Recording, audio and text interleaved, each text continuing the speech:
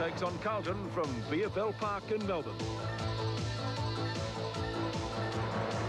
Their colours lowered last week. The Magpies are looking to bounce back after an eight-goal drubbing at the Western Oval, while the Blues' three-point loss to Essendon was their first under new coach Alex Jesaulenko, who locked horns with Collingwood today for the first time in 10 years.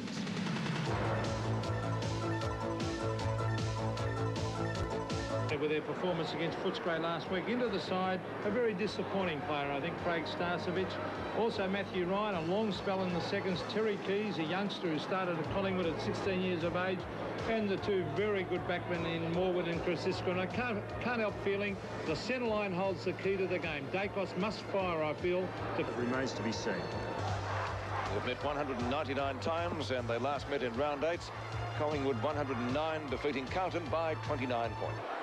And Millane is heading down towards the full forward region as well for Collingwood. Looks like Phillips Don? also on interchange for Carlton. As Kelly and McKenzie will match up. The Beak at uh, full forward and Kosciuszka's picking him up. The 200th meeting of Collingwood and Carlton from VFL Park. Ideal conditions for the clash of the league heavyweights. And let's see how the battle is going to unfold. Alvin will probably get the first free kick of the match from midfield. Is he playing the advantage? Well, he can't, of course, from there. So Tom Alvin, Carlton going from left to right. No real goal advantage. Kernahan at the back of the pack couldn't drag it down. Monkhorst gets well tackled by that same player. Christian, good hand pass. Morwood back in the side today, and they certainly missed him out at the Western Oval last week. Knocked away by Mil Hanna. A chance for the Blues. Robertson to Johnston, game number 201 for him.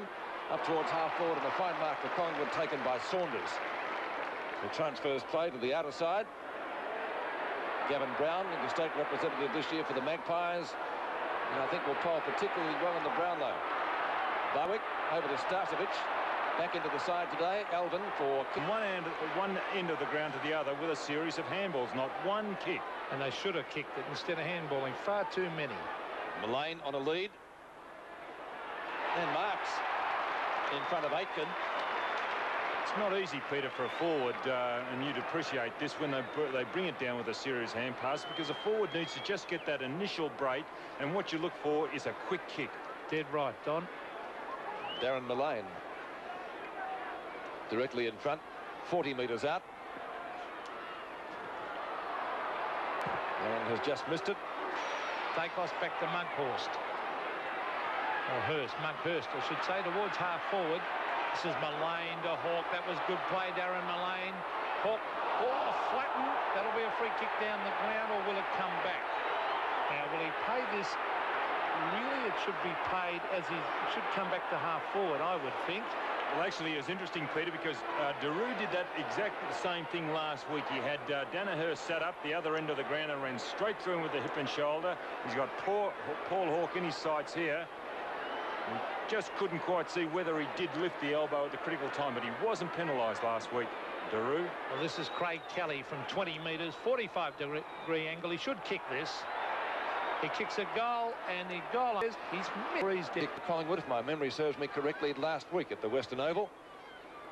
He's got plenty of distance with this kick. Coming around, and that's the first goal of the game again for Alexander.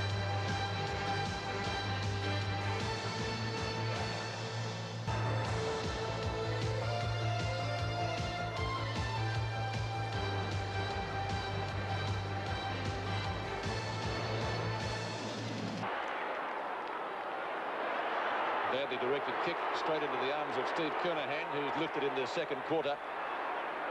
Looks for Aitken. Minton Connell goes up in the, a big pack of players. Some tunnel ball down there. On the end of it is Daicos. Short pass. Jamie Turner. Murray Renstead. Monkhorst, left centre wing. Wobbly kick by the big fellow. Kennedy offloaded. Got a chance for Kelly. Or oh, Hawke runs into a brick wall in the person of uh, McKenzie. Now towards the other side of the ground.